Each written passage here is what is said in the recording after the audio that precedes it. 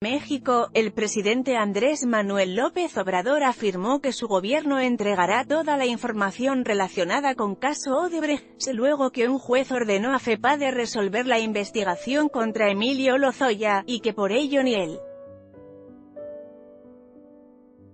ni su gobierno será tapadera de nadie. Hay instrucciones en lo que a nosotros corresponde de que se den todos los informes y estamos a favor de la transparencia, dijo en su conferencia de prensa matutina.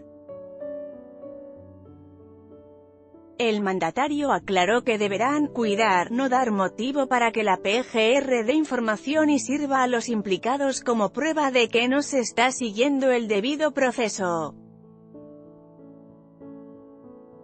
Es un asunto ya de carácter legal, no somos tapadera de nadie, señaló.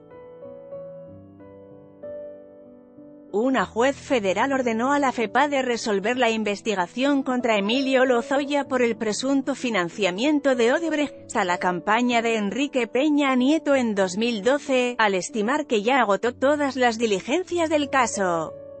Andrés Manuel López Obrador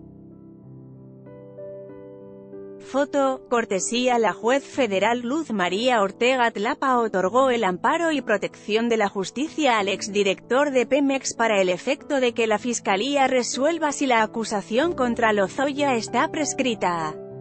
En esta nota, conferencia matutina a MLO Cuarta Transformación a MLO.